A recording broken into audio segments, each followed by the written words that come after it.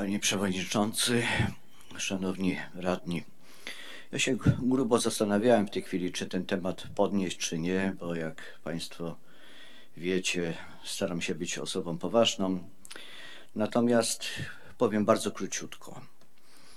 Yy, To ta informacja, która ukazała się na ostatni, no jeden z ostatnich pisów, to może tam był czwarty od, od końca w tej chwili, na temat yy, wyborów samorządowych, w tym również wyborów do poszczególnych komisji, autorstwa tutaj pana prezydenta Turzańskiego, bo mówię tutaj o blogu. Tam były trzy takie fragmenty dotyczące mojej osoby. Proszę Państwa, to, co tam zostało zamieszczone, oczywiście mija się całkowicie w 100% z prawdą. I tutaj bym prosił pana prezydenta przy jakikolwiek kolejnym wpisie, ażeby pan pomyślał najpierw po prostu lub zasięgnął informacji, dokładnych informacji, a tutaj akurat te tematy doskonale jest zorientowany pan radny Łukasz Ciewierowski, pani prezydent Sławomir Duraj. Wystarczyło tylko po prostu dopytać i już by była cała sprawa załatwiona. I tyle chciałem właśnie poruszyć w tym temacie. Bardzo dziękuję. Proszę pan prezydent. Szanowny Panie Radny, jeśli ma Pan jakieś zastrzeżenia, to bardzo bym prosił nie ogólnikowo, bo z takimi to już bardzo dużo mieliśmy, tylko konkretnie. Jak rozumiem, e, dotyczy to kwestii komisji rewizyjnej, no ale to Pan Łukasz Ciebierowski, szef klubu radnych, spotkał się z Panem Radnym i Pan Radny nie wyraził zainteresowania objęcia szefostwa komisji. Nie wiem, co w tym jest nieprawdziwego. Może Pan to wyjaśnić, ale to Panowie jesteście tutaj obaj na sali, to proszę to jakby uściślić. Chyba, że chodzi o coś innego, panie radny, ale to też bardzo bym prosił konkretnie. W Bardzo takim proszę panie razie odpowiadam konkretnie. Rzeczywiście 2 listopada pan Łukasz Ciewierowski przybył do mnie z propozycją oczywiście objęcia komisji rewizyjnej. I usłyszał odpowiedź, że nie i powód tej mojej decyzji. Nawet się nie zastanawiałem ani jednej sekundy. A po, powód był następujący. Po podsumowaniu wyborów, zaraz na następny dzień, pan dokonał również wpisu i tam jest takie zdanie, że nie wyobraża pan sobie jakiejkolwiek współpracy, obojętnie z kim, z opozycji. To przesądziło całkowicie w tej chwili, że była taka, a nie inna decyzja. Już nie mówię o tym, bo tutaj panu radnemu Ściebrowskiemu wytłumaczyłem, ja mam mnóstwo obowiązków zawodowych, teraz mi jest dosyć trudno już połączyć jedno i drugie. To była ta sytuacja, która, która została, została tam przedstawiona. Oczywiście proszę zwrócić uwagę, gdyby było jeszcze dopisane jedno zdanie, całkowicie by była sprawa, sprawa po prostu yy, załatwiona. Yy, Nie rozumiem również tego wpisu, że pan Piotr Buchwal został przewodniczącym Rady Miasta wybrany jednogłośnie. Yy, I pan tam dalej pisze, że takie to jest y, pana zdania i niestety zawiódł.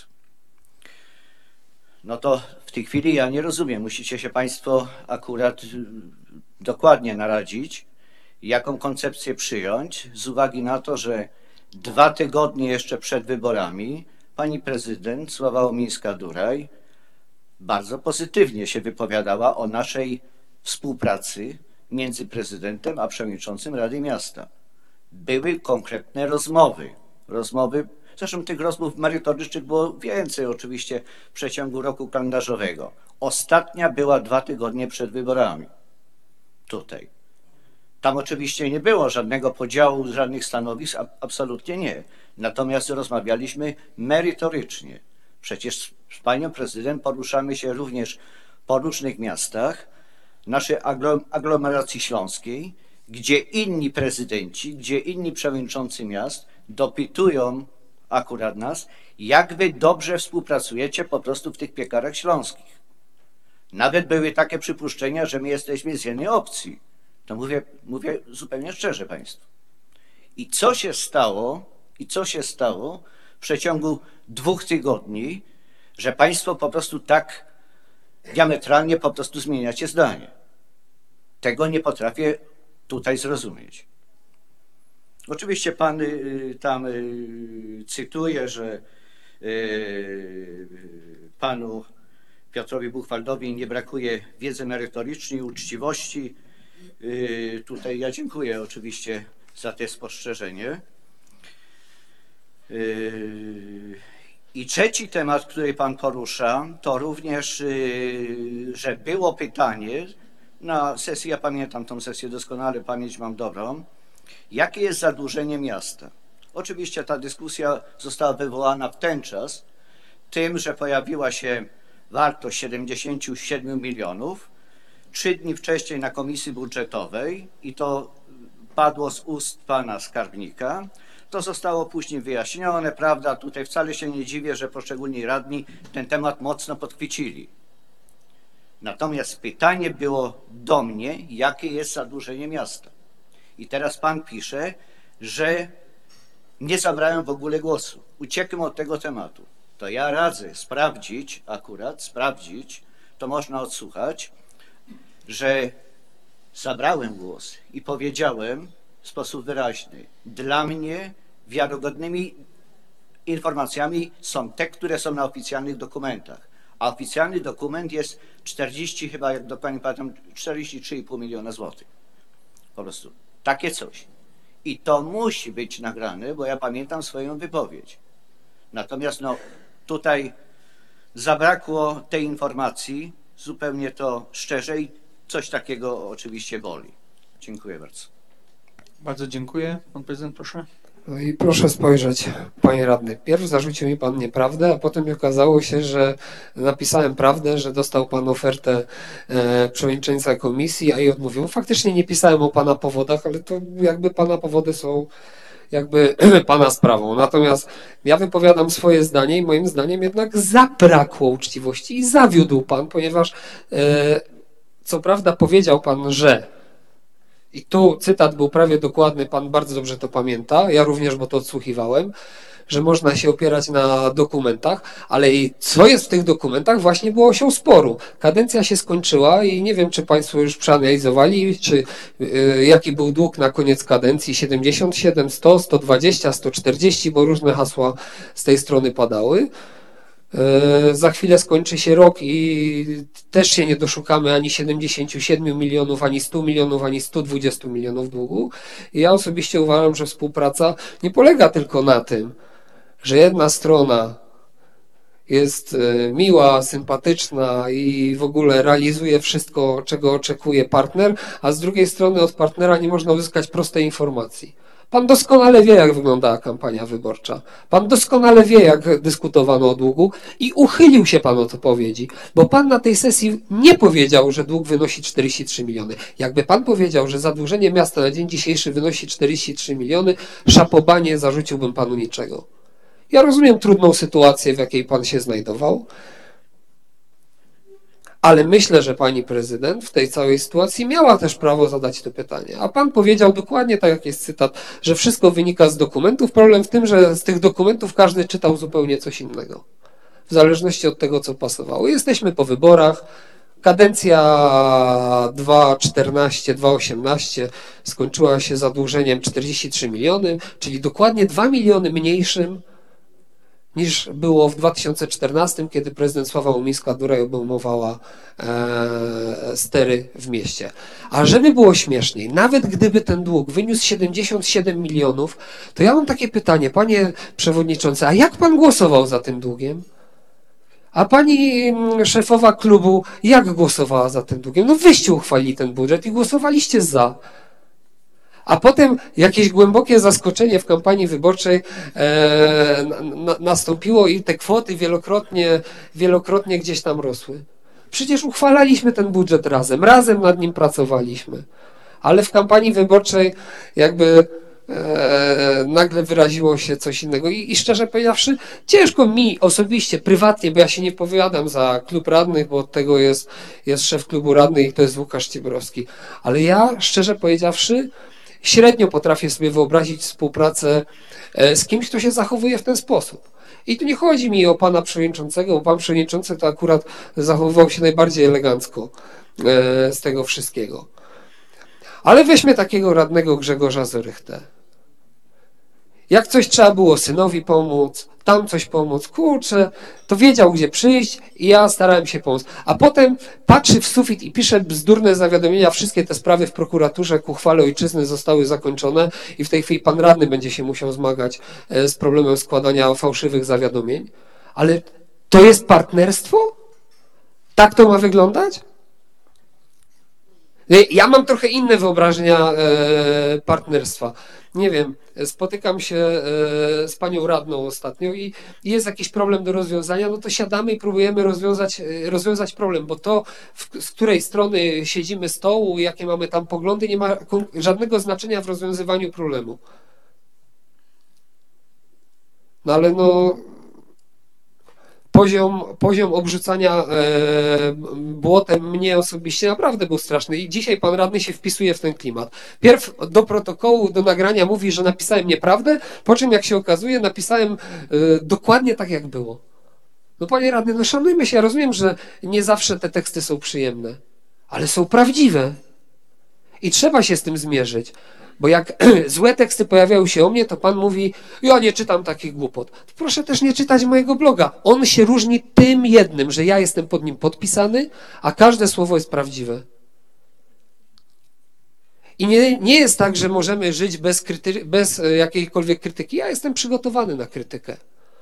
Trochę gorzej radzę sobie z oszczerstwami, trochę gorzej radzę sobie z kłamstwami. Trochę gorzej radzę sobie z tym, jak cierpi na tym moja rodzina. Jak dzwoni moja mama i pyta, co się stało, że ci CBA dom zaplombowało. Mówię, nie wiem, nie było takiej historii.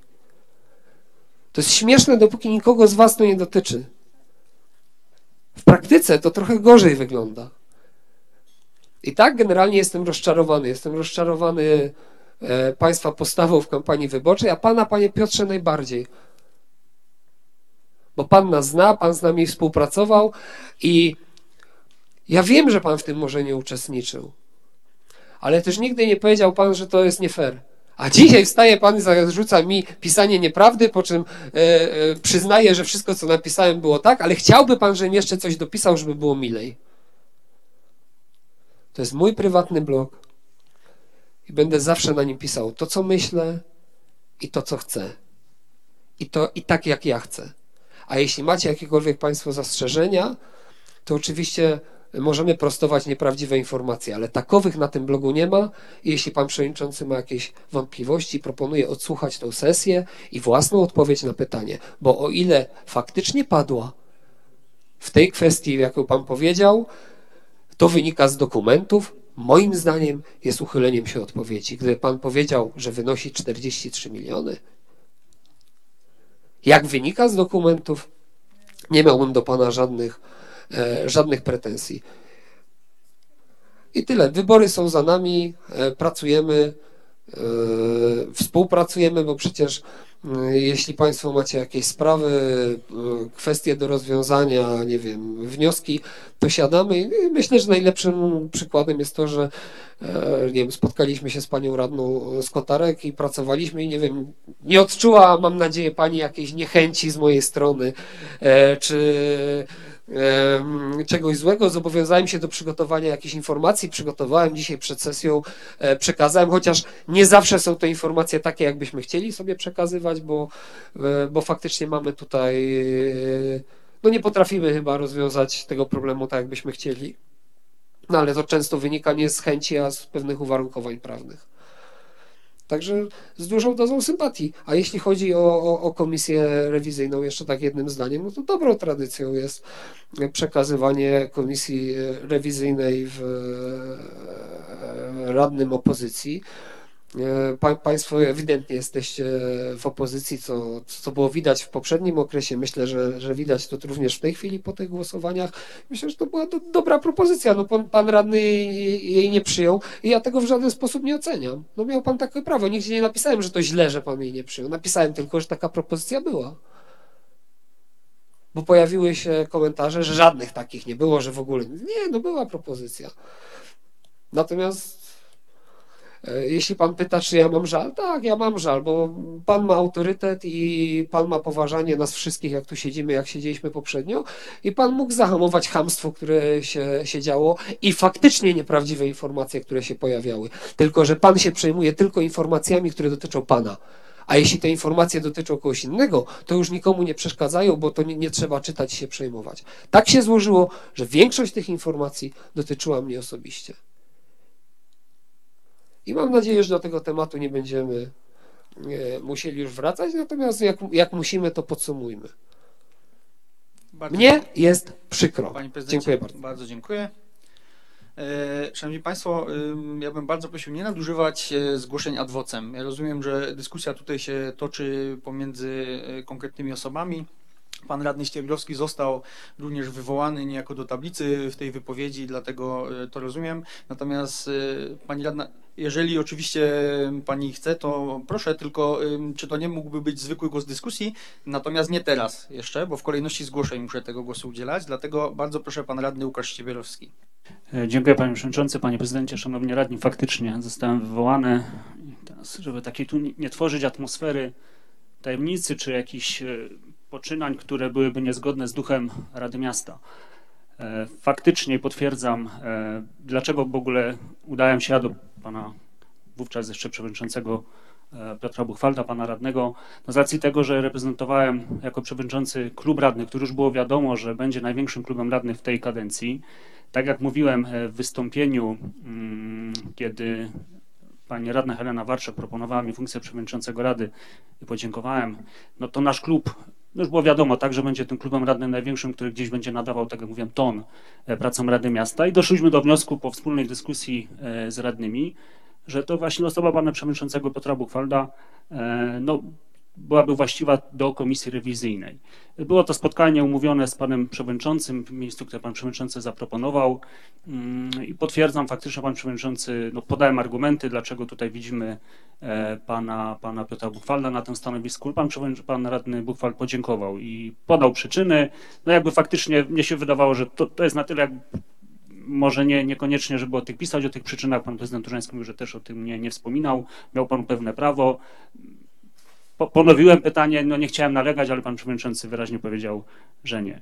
Więc tutaj jakby nie ma, nie ma jakiejś, nie wiem, sensacji w tym temacie. No faktycznie wiadomo że takie rozmowy gdzieś się zawsze odbywają wcześniej. Chodziło nam o to, żeby na sesji już, kiedy wybieraliśmy czy, czy, czy podejmowaliśmy decyzję o komisjach. Komisja rewizyjna jest na tyle ważna z racji też tego, że to raczej ona idzie, w, można powiedzieć, do osób, które gdzieś tam są w tej przysłowiowej opozycji, więc taka propozycja była, pan przewodniczący podziękował.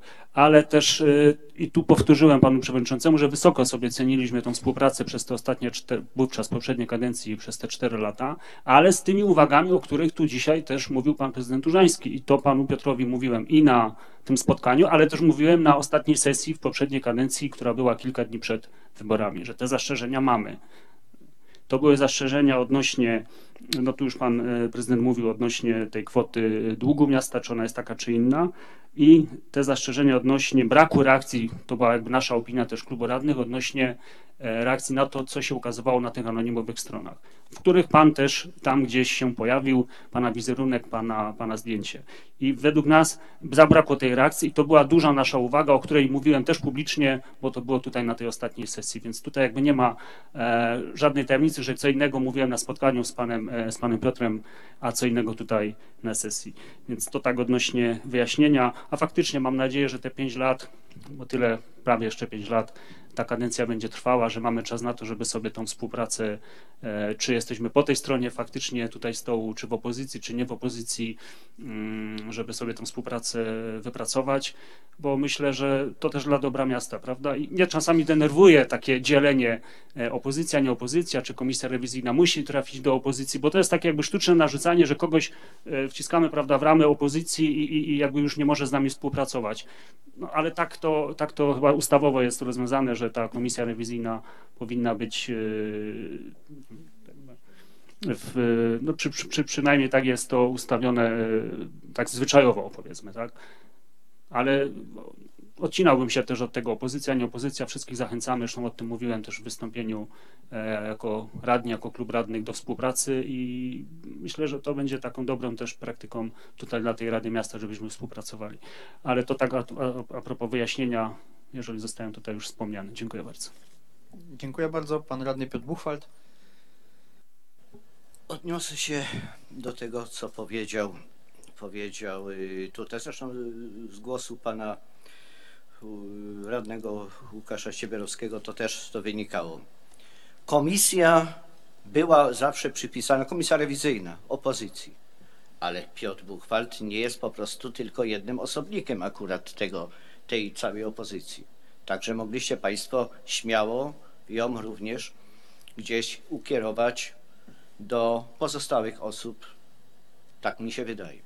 Teraz pan prezydent powiedział odnośnie tego długu. Wracam do tego z uwagi na to.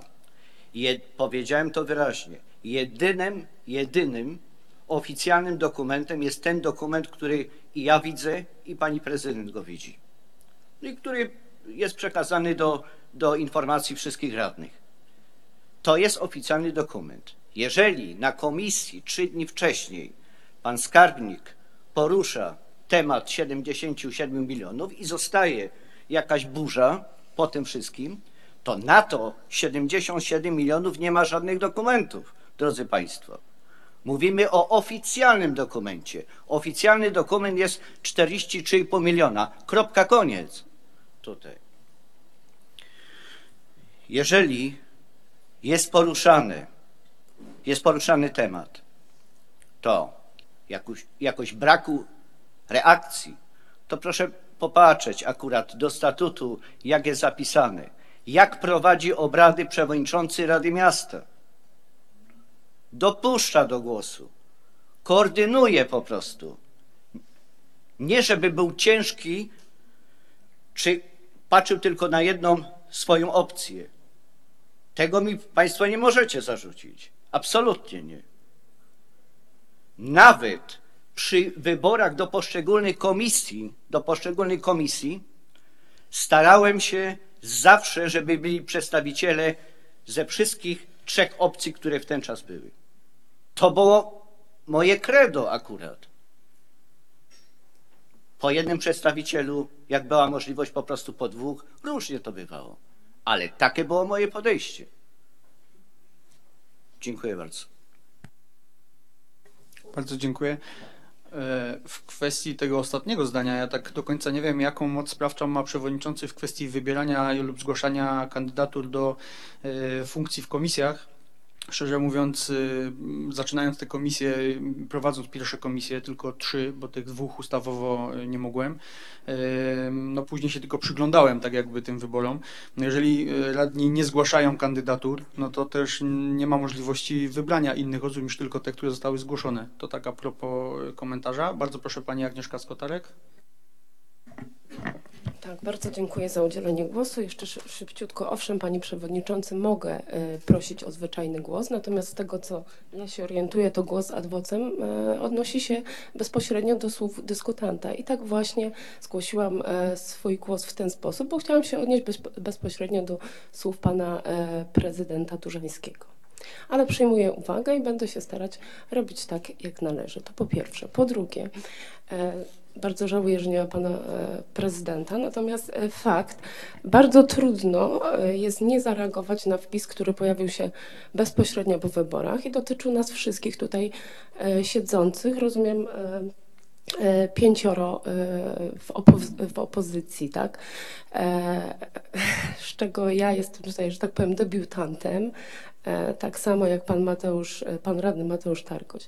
Więc jeżeli e, pan prezydent wypowiada się, że nie widzi z nami możliwości współpracy, to owszem, e, jest to jakby e, no, położenie kresu na jakiekolwiek rozmowy, tak? Teraz pan e, radny Ściebierowski mówi, że e, no, zaprasza do współpracy. Faktycznie no, trudno się w tym wszystkim połapać. Ja owszem, e, nie wzięłam sobie aż tak mocno tych słów do serca i e, przy okazji kilku ostatnich tygodni e, rozmawiałam z panem prezydentem Turzańskim odnośnie kiermaszu, który odbywał się w naszej szkole.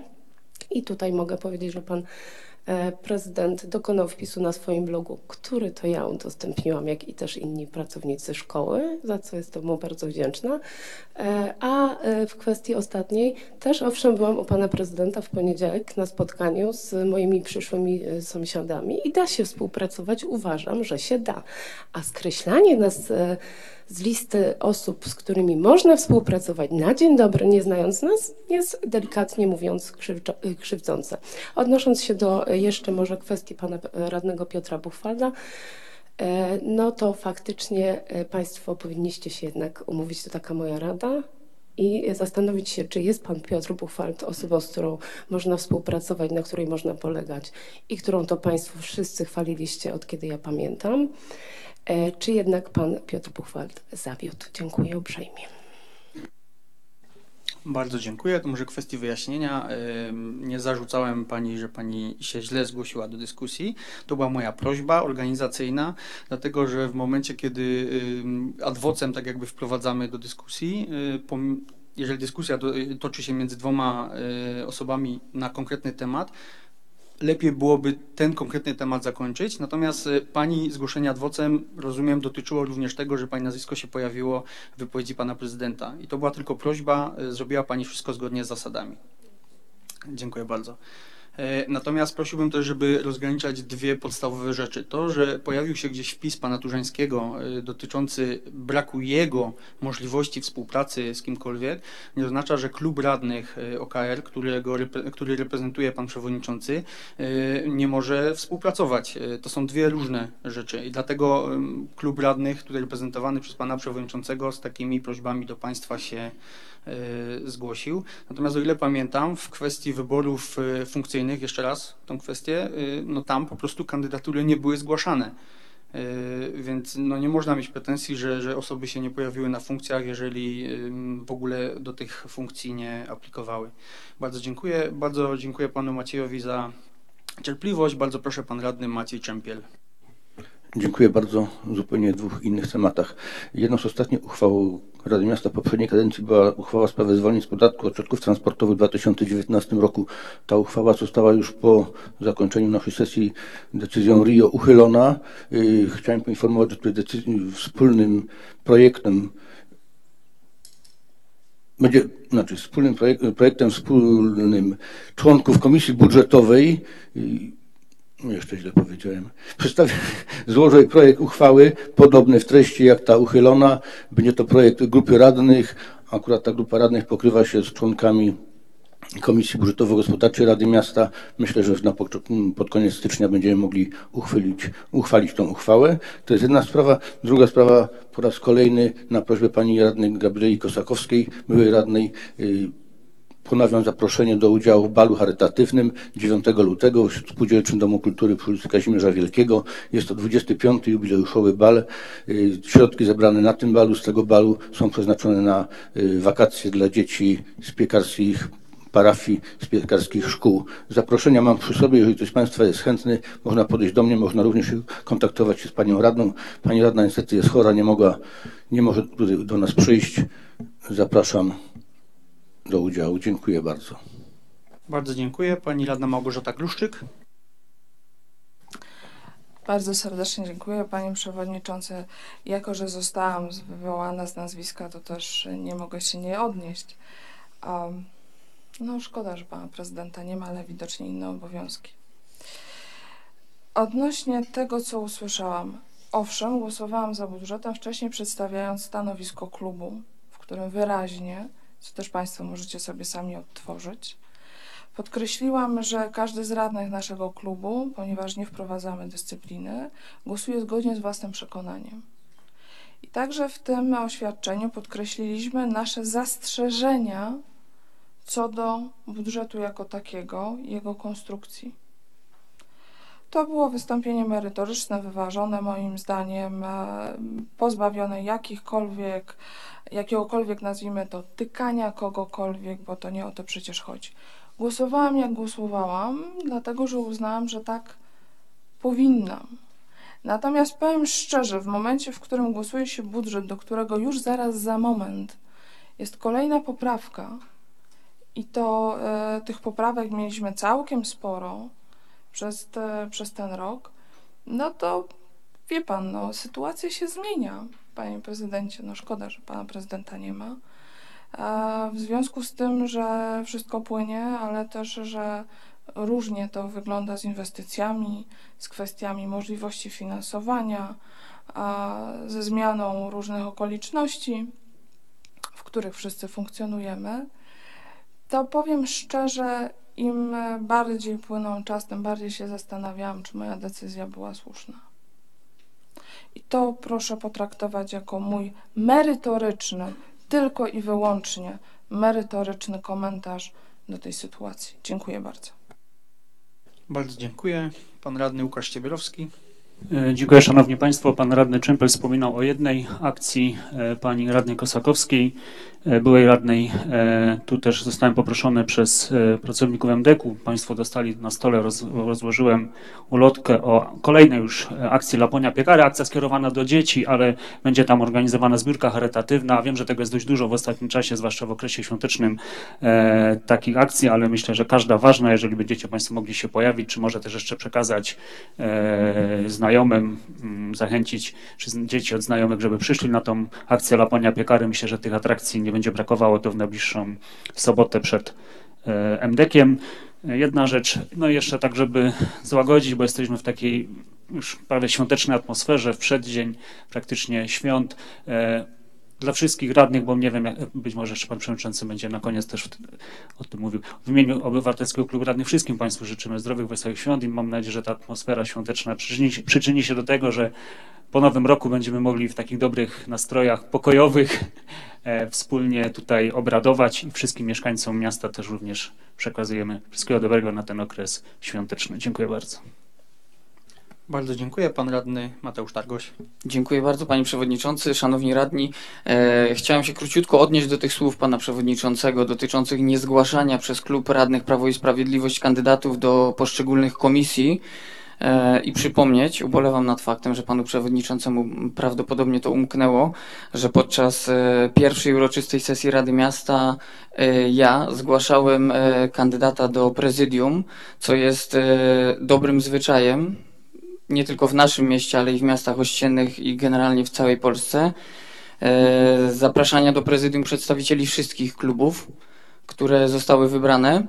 E, państwa głosy pokazały, że jednak nie ma tam miejsca e, dla przedstawiciela klubu Prawo i Sprawiedliwość.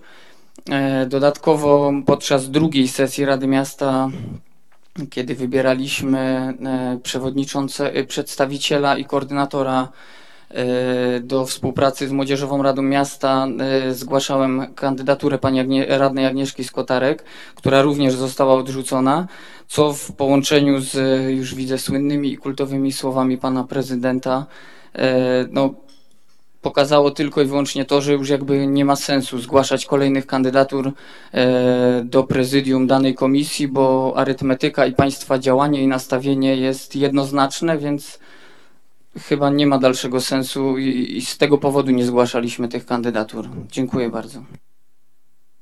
Bardzo dziękuję. To może kwestii wyjaśnienia. Nie, nie zapomniałem o tym, ale jak może pan radny zauważył albo nie dosłyszał, mówiliśmy o komisjach.